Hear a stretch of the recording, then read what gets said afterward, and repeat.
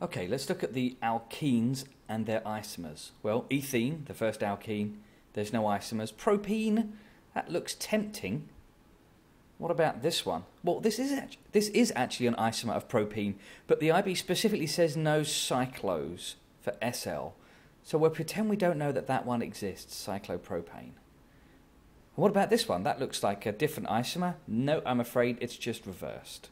So there is, in fact, only one isomer that's an alkene of propene. Butene, well, you can put the double bond at the beginning or in the middle.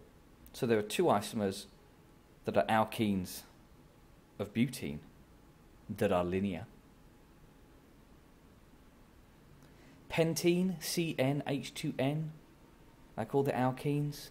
You've got pent-1ene, pent-2ene, pent-3ene. No, pent-3ene is just pent-2-ene. So I'll throw that away. Now I'm putting the bonds in. Every carbon must have four bonds, but I've not put the hydrogens in. But you have to put the hydrogens in, or you'll lose a point in your IB exam. Finally, hexene. Six carbons in a row. Ene means double bond.